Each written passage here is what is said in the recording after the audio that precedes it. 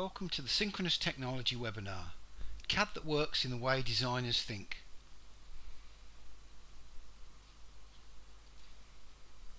This is brought to you by 3D Technology Limited and Siemens. 3D Technology are, are an authorised partner to Siemens in Ireland, based in Galway, Limerick and Dublin.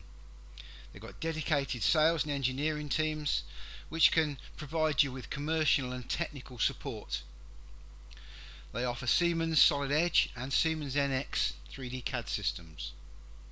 And they also provide 3D CAD and design services. Now, wouldn't it be nice if you could model the way you think? Be able to edit colleagues' models easily. Have consistent interfaces throughout all the different products. Do concept modeling and add key dimensions later on to drive it to the size it wants to be. Make changes late in the design without the model falling over. And edit other, other vendors' models, possibly quicker than they can. Well, all this can be done using Solid Edge with synchronous technology. Now before we actually look at it, let's just go and have a look at this, this short video. You have an idea, not just any idea, a great idea. An idea for a coffee machine that remembers exactly how you take your coffee. Everyone will want one. You'll be a millionaire. Now to make your dream a reality. But why did designing your product feel like a nightmare? The problem wasn't your idea. The problem was your CAD software. All that planning before you could start designing, it slowed you down. That great part you wanted to add, the one your friend helped you out with, you couldn't work with it, so you had to recreate it from scratch. Oh, and the important change you realized you needed to make at the last minute? No! It's taken all your time but doesn't look anything like your vision. This is not what you meant to make, because your 3D CAD software didn't let you make it. But Solid Edge from Siemens will. Thanks to Solid Edge's synchronous technology, you'll be able to design as quickly as you think. No worrying about order, no clicking through lots of commands, just draw. You can import files and work with them as if they were your own. And you'll be able to make changes easily at any stage without having to redo anything, which means it'll do exactly what you and your customers want it to. Now that's more like it. Visit Siemens to find out more today.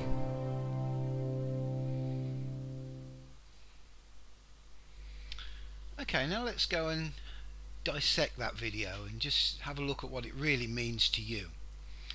So today what we're going to be looking at, um, you can see here in this agenda, we're going to be looking at creation, then repurposing the data, and then looking at bringing all we've just learned together.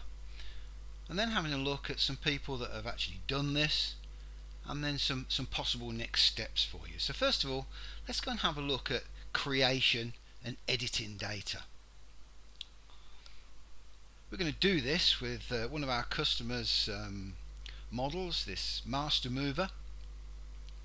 And we're going to start from scratch. We're going to do a, um, a bottom-up assembly design. So we've opened this file up. We've got some planes here. Now we're going to start to sketch onto those onto those planes. So we select this this top plane, orient into the view, and then we can pick up, for instance, a circle. We key a dimension in, that dimension is, is placed onto that circle. We're now going to use the, radial menu as you saw there to pick the commands we most commonly use. Again, the keyed in dimensions are the dimensions that go onto the model. If we want to place additional dimensions on there, again, that's not a problem and these can be driven to size. So there's nothing really new there compared to what you're used to. However, with Solid Edge, any closed shape forms what we call a region.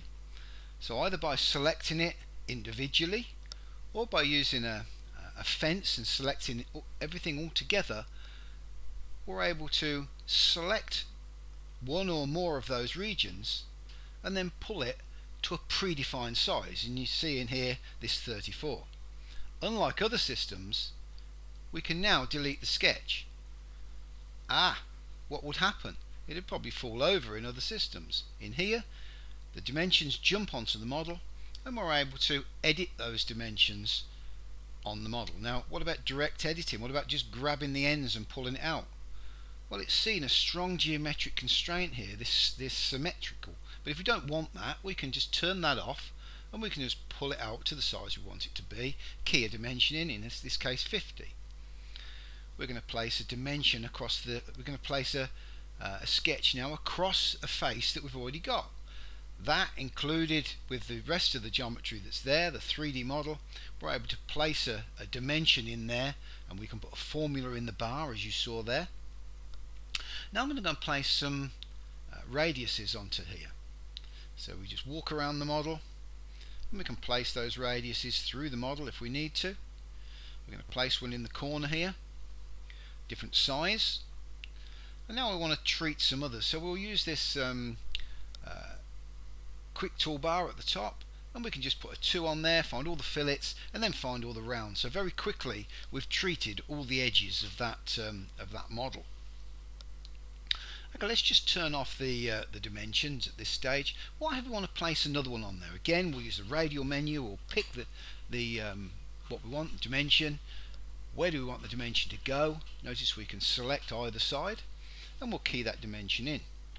So we can place these at any point in the in the design if we've forgotten them or we're doing concept modeling. If I now want to add some additional geometry in here, this is the, the center portion of this, so we're going to start to take information away from this.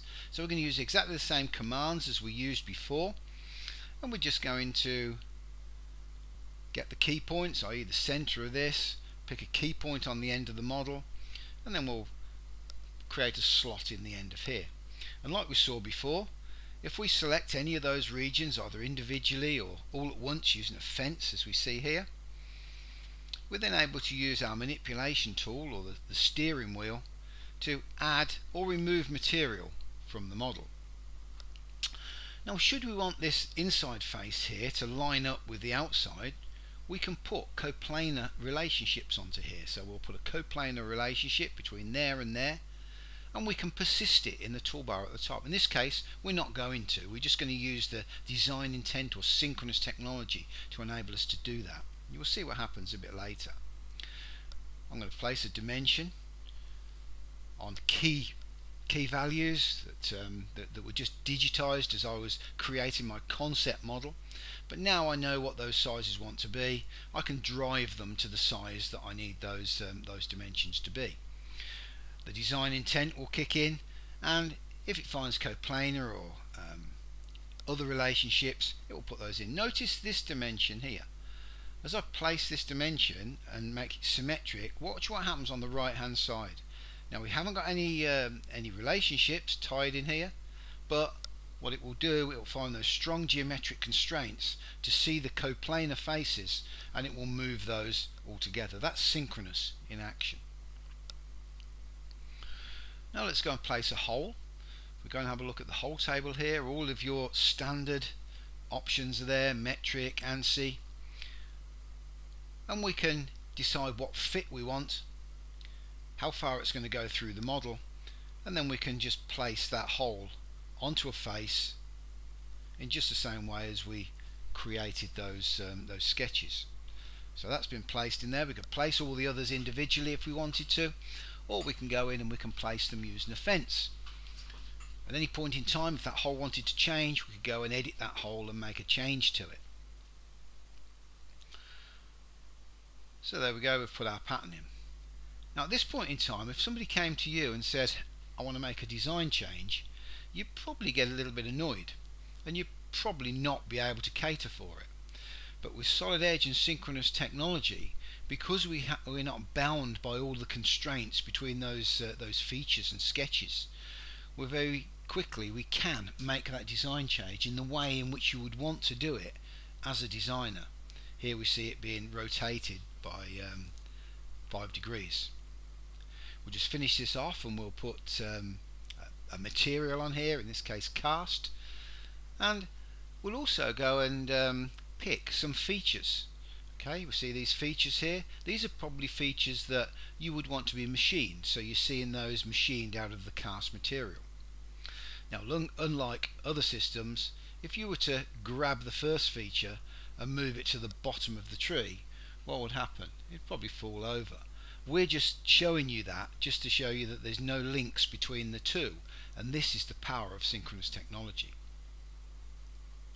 Now what I'm going to do here is I'm just going to save this model away and then I'm going to generate a, um, a 2D drawing from this because in a lot of cases 2D drawings are still the currency of the drawing office and you still need to make sure that you, you generate a drawing of it. So we want to be able to do this very very quickly. Solid Edge caters for that by providing our templates and then just laying views down as needed into that uh, into that model. If we want to place additional views like a, um, a detail view or a view off of this face here and then uh, perhaps crop that so that we've just got this little bit in here because that's the only piece we're really interested in we can then manipulate it move it around the screen to wherever we want so we can create the views now I want to um, uh, place dimensions on there I've just retrieved dimensions these were the dimensions that we placed onto the model these um, PMI or manufacturing information that we placed onto the model. We've drawn that through. And if we want to add additional dimensions, or in this case centers to it, we can we can do that. Just by picking the lines, we get the centers between there.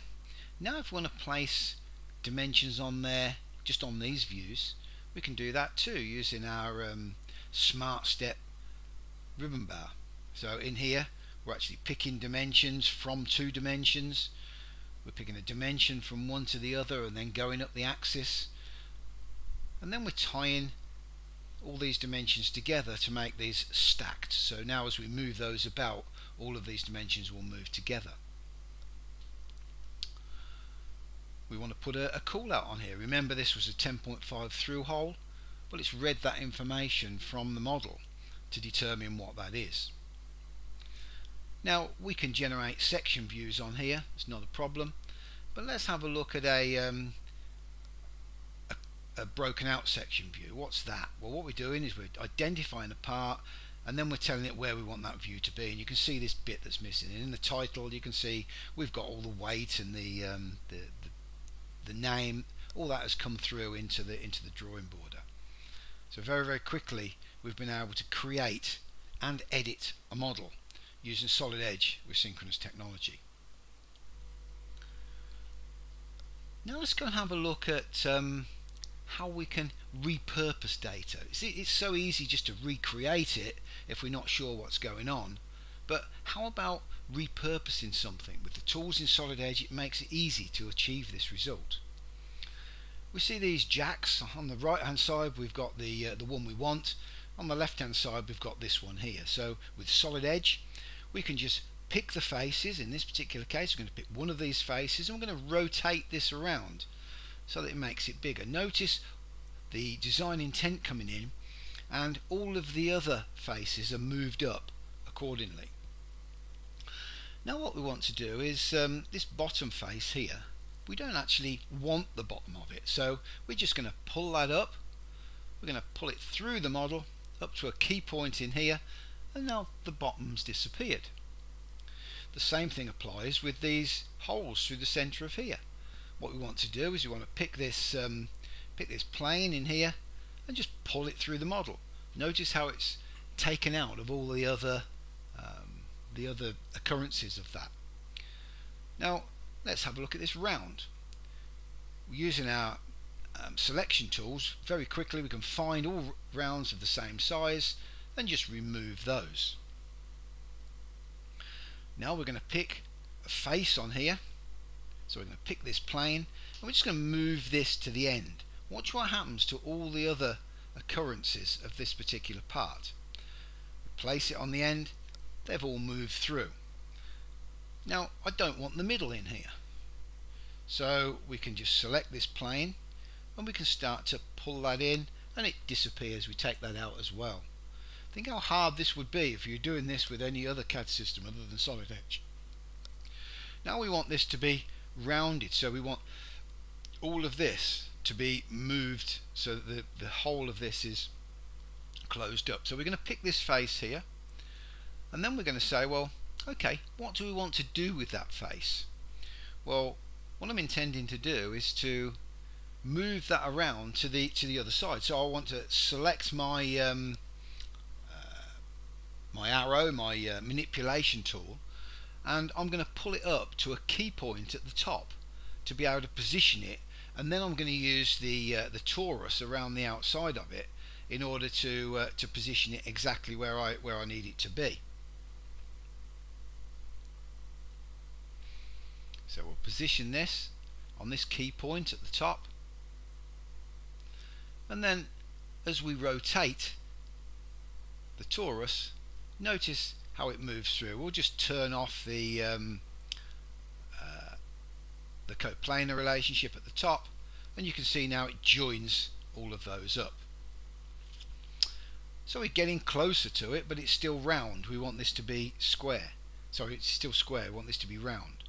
Well we don't want the bottom on here so we're just going to push that through and now we want to try and make some legs for this. But before we do that what we're going to do is we're going to go through now into the actual part itself. So all that was done at the assembly level.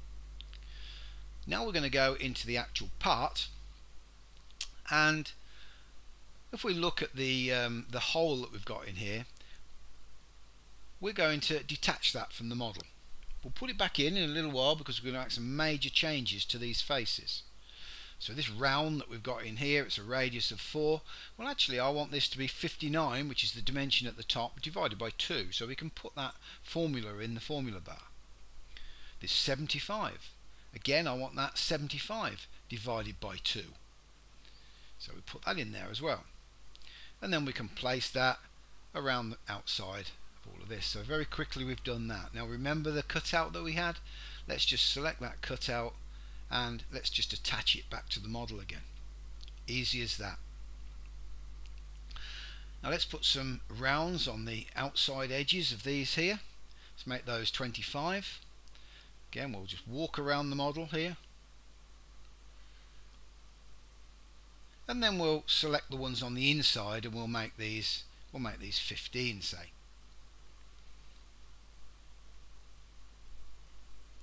Okay, so they've now been added in there. Now we want some some cutouts to make this a bit a bit lighter. So what we can do is use the offset command, just pick a pick a face that we want to work on and then we can select some of the geometry and we'll offset these in this case 20 millimeters from the geometry that we're selecting in here give it a direction and it creates us the bits we want now I want to create a rib across the bottom of here so I'm just going to make this 40 and I'm going to offset this back one up by 40 so got everything we want now solid edge was synchronous sees those closed shapes as regions so we can just select those closed shapes and we can just remove it from the material. Great, done that. Now, let's go and have a look at um, just putting a few rounds on here now. So we'll just pick these inside edges, place some rounds in the model.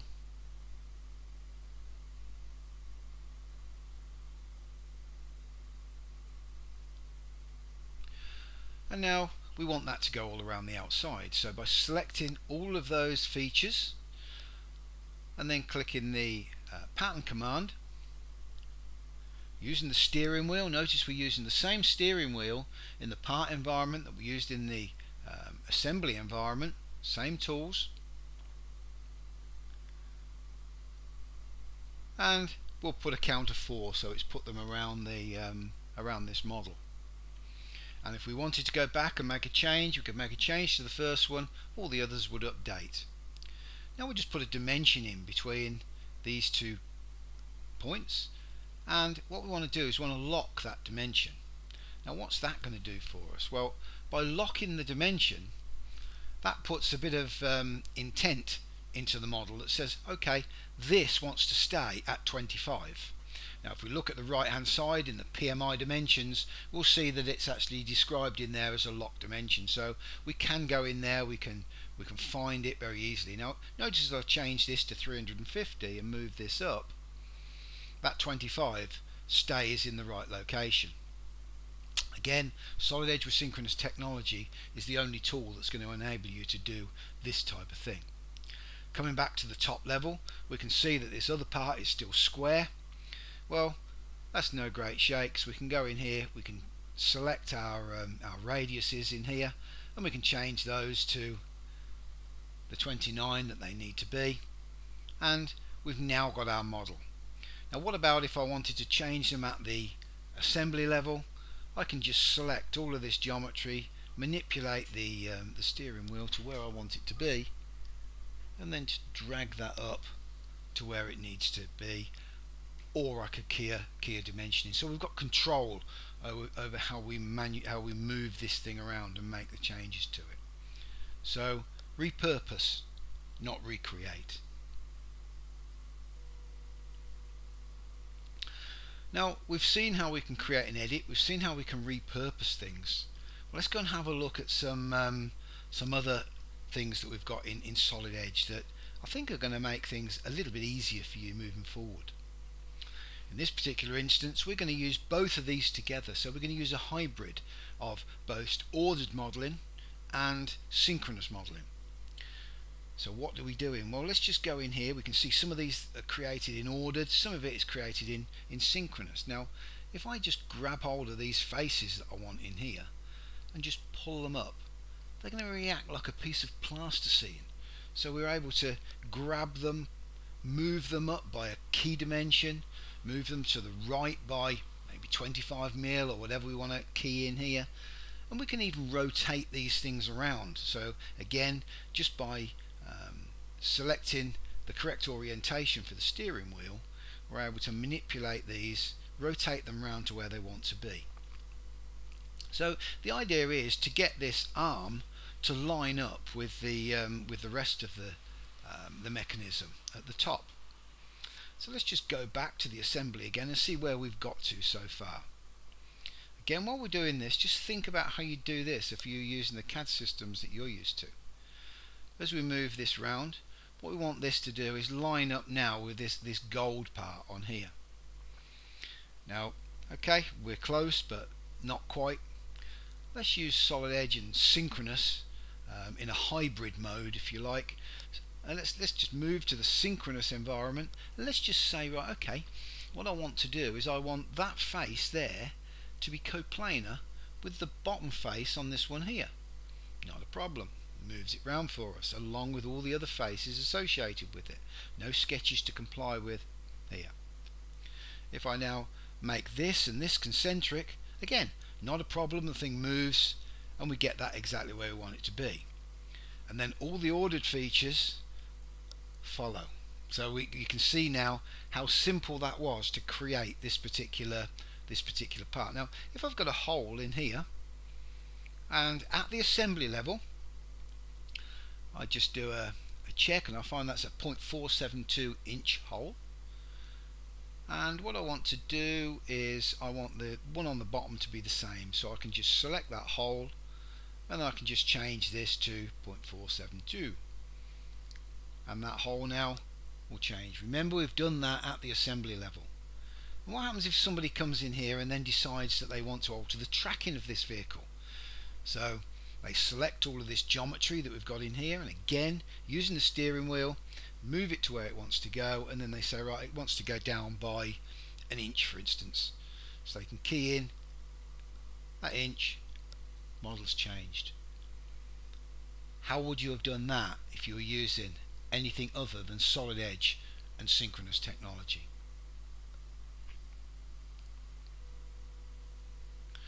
Now we've spoke a lot about um, creating, editing, repurposing, and not creating, recreating, bringing all the things together.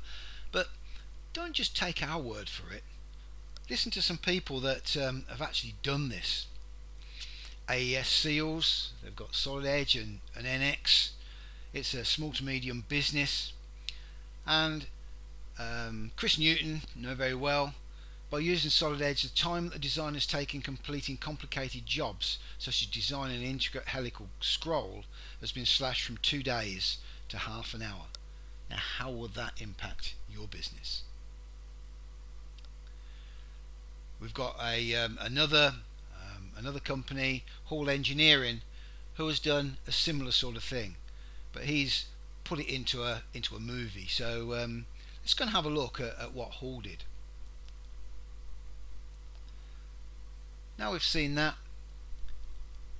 In summary, we're looking at modelling the way you think. Be able to edit your colleagues' models easier. Have consistent interfaces throughout. We've shown that. Do your concept modelling and add key dimensions later on. We showed you how you could do that.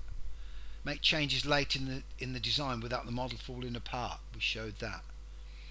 And edit other vendors' models as if they were your own. So everything you've seen so far in here, that could equally well have been something that came in from a, a third party. So pretty much we've answered those questions. If you want to learn any more on this, there's um, 2D to 3D and data migration on the 20th of September. And this will show you how you can work in 2D and evolve to 3D as the uh, as the need arises. And we'll also be looking at some data migration techniques that we've got in Solid Edge, which again is um, uh, proprietary to uh, to Siemens. So hopefully we'll see you on another webinar. Thank you very much.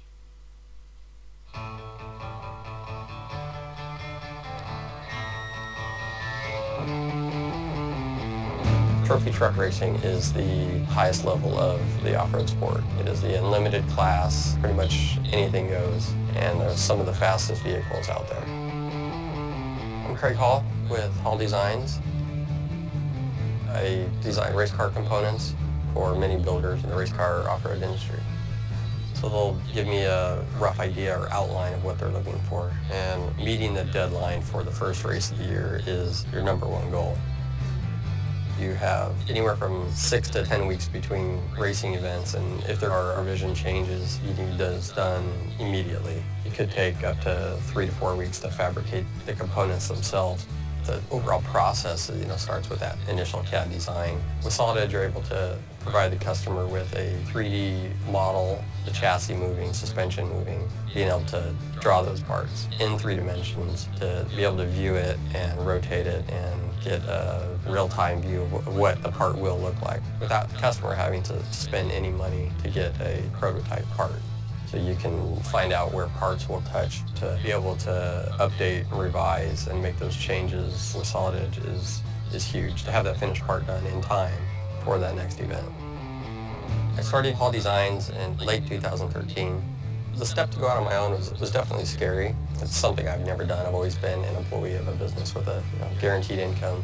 Solid for me was definitely the program I was going to use. They had just come out with their subscription-based licensing, and that for me was kind of a no-brainer with limited funding to purchase anything to start the business. Before being able to use synchronous technology, you'd need to redraw vendors' CAD files. It could take from an hour to a couple hours to reconfigure a shock to how you need it. What's great about synchronous technology is I'm able to import and directly edit vendors' files and adjust them and make changes within seconds. And you can cut down the, time by, you know, hundreds of hours, whether it's a normal day at work or, you know, a 10, 12 hour day. I want to get that done at work so I can separate my work life from my home life. And Solid Edge, I'm able to do that I've raced the Baja 1000 a few times, and in 2012 we end up winning that race. So to finish is, is huge, but to win it as a driver and the designer of the car, I don't think I could top it.